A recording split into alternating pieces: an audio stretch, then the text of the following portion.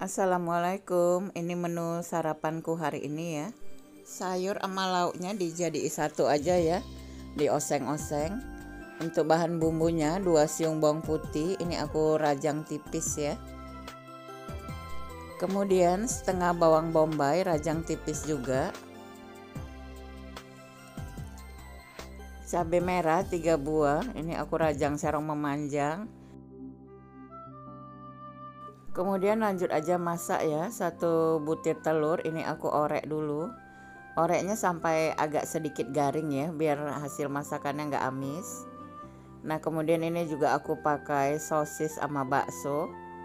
Ini aku potong tipis juga.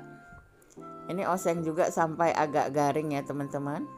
Agar nanti masakannya jadi lebih enak ya.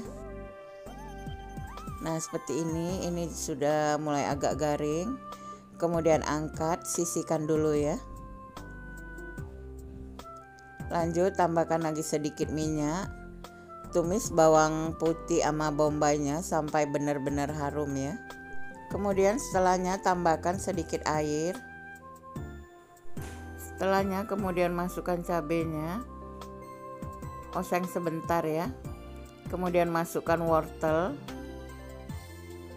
tambahkan lagi sedikit air ya biar wortelnya bisa lembut. Nah seperti ini.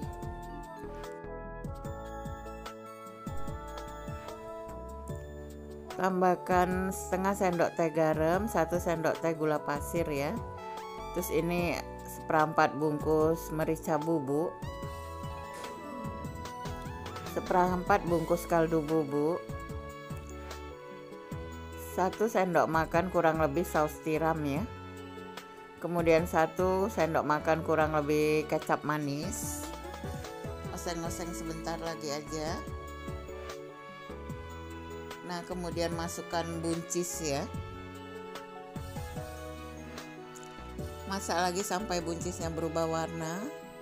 Nah setelah berubah warna kemudian ini masukkan telur bakso sama sosisnya ya oseng lagi sebentar.